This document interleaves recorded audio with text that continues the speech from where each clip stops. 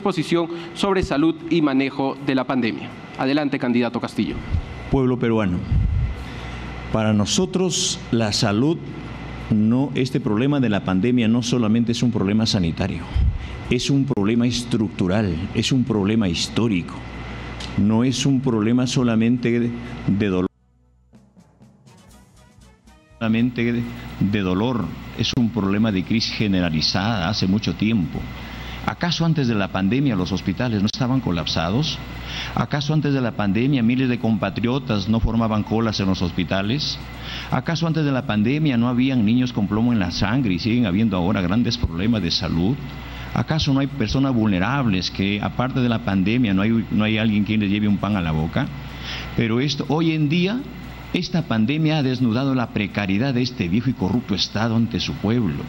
Pero esto tiene culpables directos el Fujimorismo con 10 años de gobierno y consecuentemente con mayorías parlamentarias nunca agendaron a la, a la salud como derecho constitucional y ahora traen un ramillete de propuestas como Papá Noel.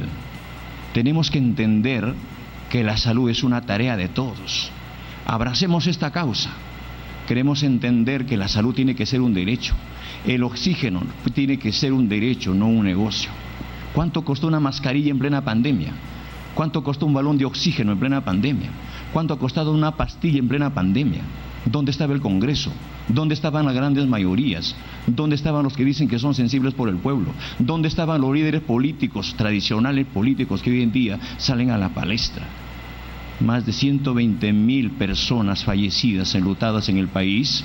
Eso tenemos que no solamente solidarizarnos, sino hacer una cruzada nacional. Y para eso, gracias a los expertos, gracias a los compatriotas que se han sumado a esta tarea para hacer una sola causa, vacunaremos a todos los peruanos y no vamos a permitir que ningún peruano mayor de 18 años se quede sin vacunar hasta el 31 de diciembre. Vamos a hacer que la ciencia y la tecnología no, no, no trunque y, diga, y que vengan a decir que las vacunas tienen agua o que la saliva es un desinfectante.